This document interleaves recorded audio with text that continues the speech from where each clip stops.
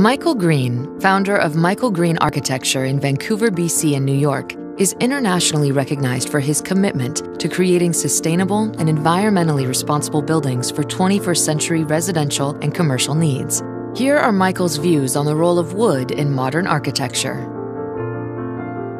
So I, have become passionate about this idea that wood is an, you know, an incredible material and it's I think, going through a, a, really interesting phase of being reinvented in modern architecture. For a long time, for the last century, we'd seen concrete and steel really take over as the modern materials, the man-made materials.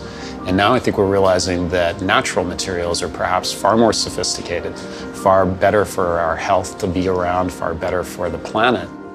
And 16% of man's fossil fuel use goes into the making and manufacturing of just steel and concrete. We need to reduce that. And the forest and trees have this incredible advantage of both being lower energy materials to work with, but also trees soak up carbon dioxide as they grow. When you harvest them, that carbon dioxide is stored in the material, and so you, you really are creating a, a sink for carbon dioxide and helping address climate change that is really the exact opposite of most other materials that we that we build with in the world. And so, you know, trees have this very unique role in, in helping us counteract climate as long as it come, the trees come from sustainable forest practices.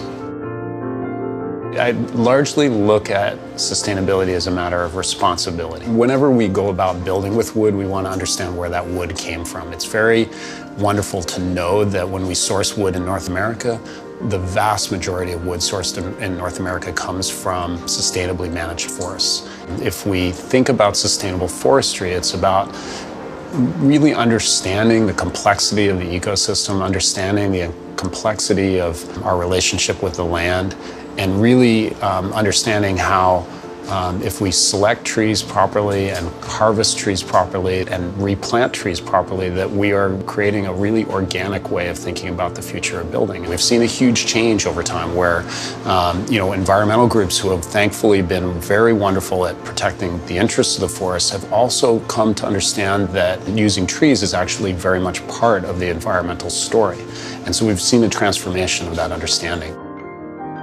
The real revolution that's happening in wood is, is because we're no longer thinking of wood as these solid timbers coming from old growth trees. We're thinking about wood as younger trees, gluing the wood fiber together to make very strong, very large panels of, of wood or engineered wood that are very, very strong. Wood in its strength to its weight is, is um, you know, comparable to steel and concrete, and, and so it's a remarkable material um, for a natural material. And so that change in technology also means that we're using younger trees, faster growing trees, trees that actually sequester carbon dioxide from the atmosphere faster when they're young. And so they're harnessing the carbon dioxide in the, in the wood when we build with it a little more. And so for all these reasons, we now have these products because of their large scale that allow us to build much larger scale buildings. And it makes it a very exciting time to be a designer.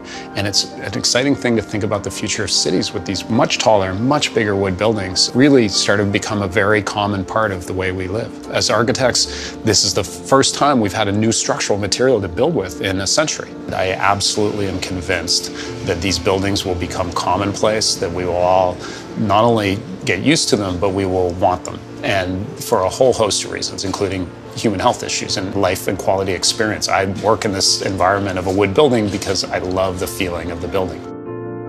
You know, LEED certification is, um, is, is a very important uh, way to bring the quality, the environmental performance of buildings up to a certain standard.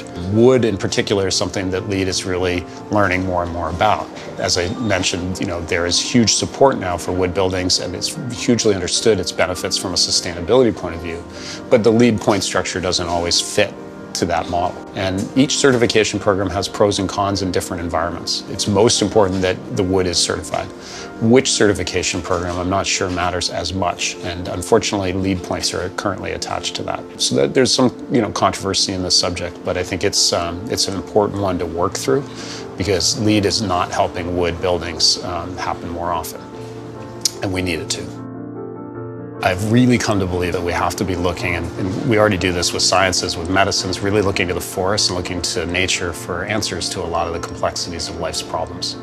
And the answers are, I think, almost always going to be found in the natural world. And in architecture, that starts with wood and the power of Mother Nature. We are creating a really organic way of thinking about the future of building. But I think every tree has to be given a life that, as a wood product, that lasts for generations because that tree deserved it.